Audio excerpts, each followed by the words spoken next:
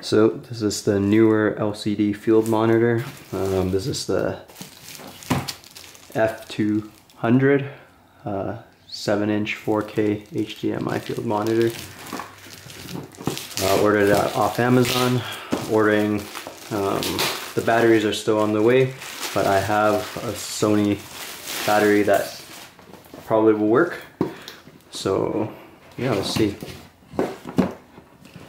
How it's packaged.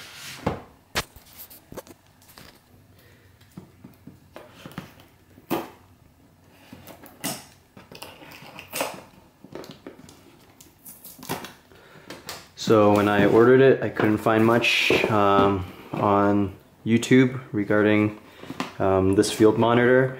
I'm guessing because the only difference between this and the F100 is the 4K support.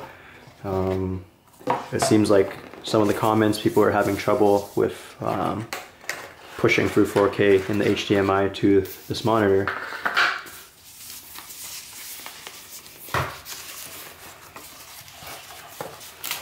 So here's the monitor. Pretty light. Buttons feel plasticky, but you know, that, that is what it is. And then a protective cover on the monitor. Um, the inputs are on the side. It has USB, AV out, headphone jack, AV in, HDMI, and then uh, DC 12 volt uh, connector right there. So that's the monitor. I guess it comes with the two different type of hoods for the back for sunny days. Um, comes with a HDMI cable.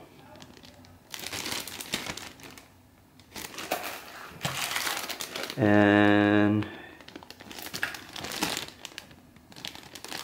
HDMI, HDMI and mini HDMI, I think, and uh, AV in um, cable right here to the right here to the red, white, yellow connector. Um, I think that will work with my 5D Mark III, and also a little bracket here to do cable relief. I believe that's what that is for. And it also comes with a mount. Um, can mount the monitor on a cold shoe. And yeah, this is what's inside the pack.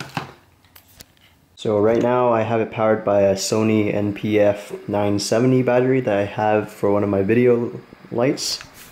And this is a Canon 5D Mark III using the RCA composite AV input um, into the monitor.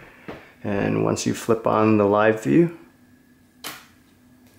get a signal and there it is um, yeah I guess uh, if you're using this to record yourself it might not be the best as in depending on which way you move it, it's mirrored and in the menu settings I couldn't find a way to invert the image but at least you can frame yourself in it um, and yep and here's a closer look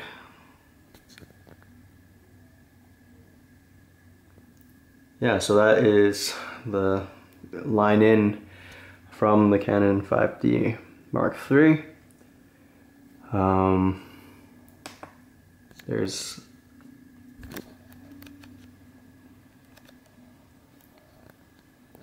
different settings there that you can adjust. Brightness, contrast, saturation, tint, sharpness, color, temperature. Um, here's your volume. Oh, my camera just switched off, but going through the rest of the menu, there's the markers, marker options. Uh, here are some other function, zoom, freeze. Oh, maybe the flip horizontal and vertical will help. Uh, so there is a function for that, it seems like. Um, and the aspect ratio is auto right now. And waveform, you can do peaking, peaking color, false color, exposure, histogram, and level marker. And here are some of the settings for the backlight, time, language, and the, I think you can change what these buttons do. The F1, F2, F3 configuration. I believe you can change it to something else. Yeah, so you can change for a different function. Customize function 1, 2, and 3, which is pretty nice. Yeah, so this is using the RCA. Looks pretty good to me. This is the first um, field monitor I've used with this camera. Um, but yeah, I'll switch it on with the Fuji X-T2 and see if we can get a 4K output. Okay, so on the Fuji, um, on the back of the camera, um, there's different settings you can do for your output. So the 4K movie output right now, it's recording full HD on SD, and then I think it's 4K out HDMI. Um, when I had it the other way with 4K on SD um, and full HD on HDMI it didn't work. Um, there was no video. I believe it disappeared. Oh nope it's still good. So to make sure we have output 4K to the H uh, to the field monitor that's the setting we're going with and yep, we'll go to the other side. So here it is from the other side. Um, still the problem of the inverted horizontal. Let's see if we can change that.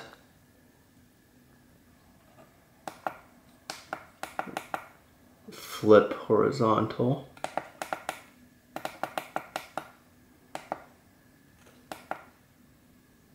Turning that on. Oh, there you go.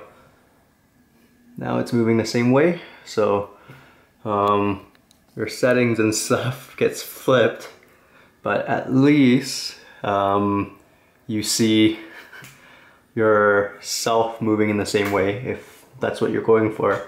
Um, all your settings and stuff will be mirrored as well. So if that bothers you, choose one or the other and yeah, I guess it'll work.